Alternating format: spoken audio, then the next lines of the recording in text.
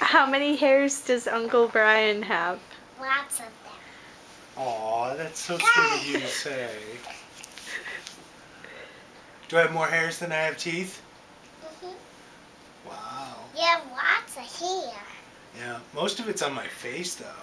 Uh-huh. Yeah, Yeah, you have lots of hair. yeah.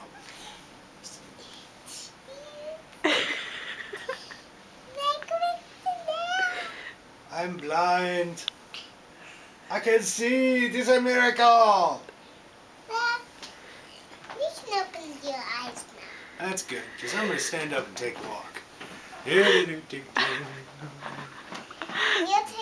walk with me.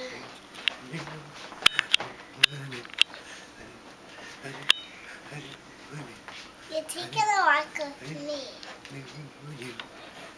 Take a walk to Holly's. To Harley's desk. Huh? Ah, do, do, do, do, do. Uh, do, do. Look where we are.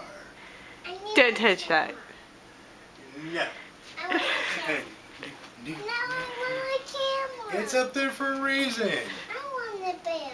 Well, you had to talk to Harley about that. No. Yeah. Walk back.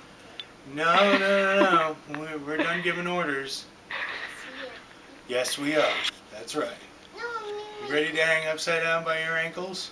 no, I mean my heart. Are you sure you're not ready to hang upside down by your ankles? My heart is up there. Because that's going to happen in like three seconds.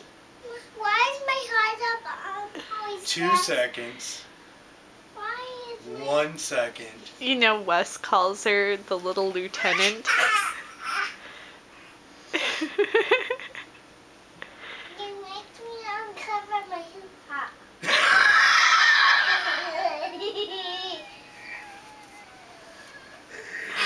Okay. That's the best argument against being upside down I've heard in a while.